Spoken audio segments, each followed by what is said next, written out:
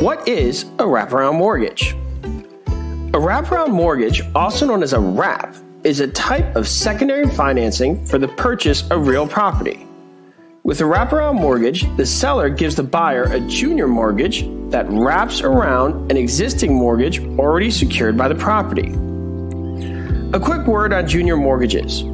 A junior mortgage often refers to a second mortgage, but could also be a third or fourth mortgage. Basically, a junior refers to the priority of liens. In the case of foreclosure, the senior mortgage will be paid down first, then any junior mortgages are paid based on the date they were recorded. Now let's get back to WRAPs, which are a form of seller financing.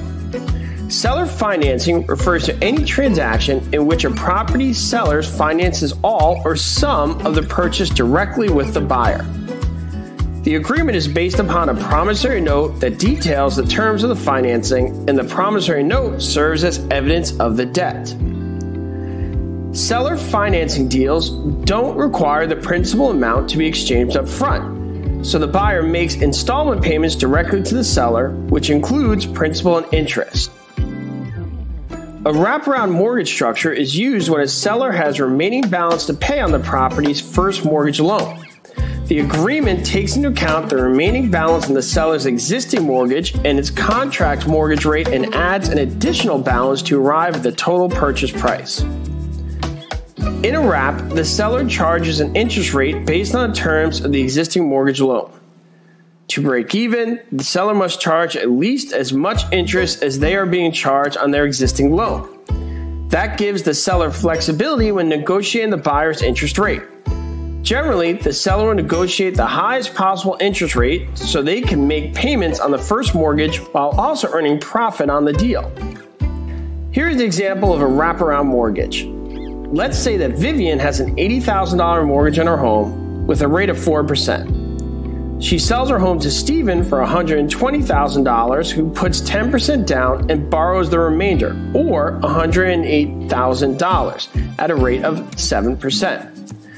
Vivian earns 7% on $28,000, the difference between the $108,000 and the $80,000, plus the difference between 7% and 4% on the $80,000 mortgage.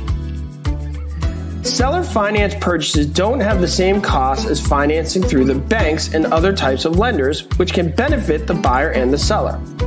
However, the seller takes on greater risk and responsibility, so they often require higher than average down payments. If the buyer defaults on any payments, it'll be up to the seller to pay the original loan or risk foreclosure on the home. Sellers must also be sure that their existing mortgage doesn't include an alienation clause, which requires that the seller to repay the original mortgage entirely if collateral ownership is transferred or if the collateral is sold.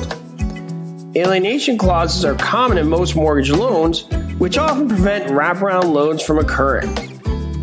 In summary, a wraparound mortgage allows the seller to finance a portion of the home loan that is wrapped around the seller's existing mortgage.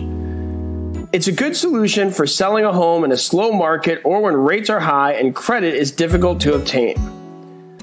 There are risks, but when used sensibly, they can result in extra profit for the seller and better terms for the buyer.